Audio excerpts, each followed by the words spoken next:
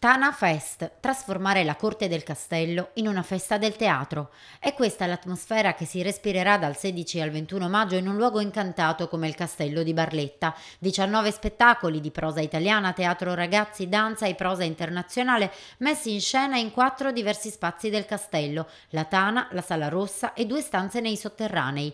Altrettante le compagnie straniere ospitate da Romania, Svezia, Gran Bretagna e Belgio, un esperimento frutto della creatività di Giampiero Borgia, fortemente voluto dal comune di Barletta e dal Teatro Pubblico Pugliese con la sponsorizzazione di Pasquale Casillo dell'omonimo gruppo imprenditoriale di Corato. Credere in qualcosa significa poi dimostrare sul campo di essere vincenti.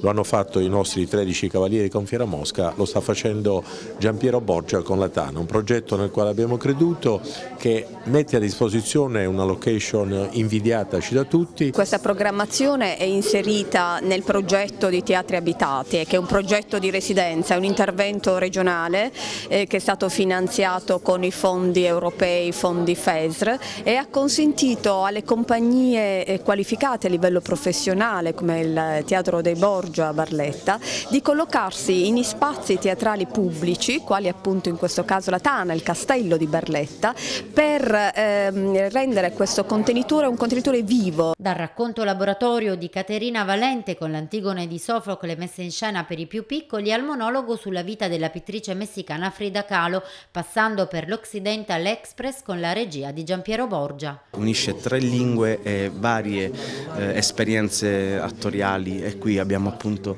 Cristian Di Domenico, attore rappresentativo della nostra compagnia. È un testo di Matei Visniec, ehm, mette insieme la nostra compagnia del Teatro di Borgia con eh, alcuni attori rumeni che sono però eh, abilissimi nel parlare la nostra lingua per cui per il pubblico non sarà un problema seguirci. È una storia molto affascinante, eh, molto interessante e molto contemporanea sul tema del, dell'emigrazione. Fra tutti uno spettacolo da non perdere nei sotterranei del castello. The Smile of Your Face eh, della compagnia belga che è un vero e proprio evento sensoriale, è uno spettacolo che dura 25 minuti fatto per 6 spettatori alla volta, eh, bendati su sedie a rotelle. Nella settimana dedicata al festival avrà inizio anche la rassegna Azione in Danza preceduta da una conferenza sul tema dell'anoressia. Ospita quest'anno compagnie attive a livello nazionale e internazionale dove all'interno è membro un danzatore barlettano.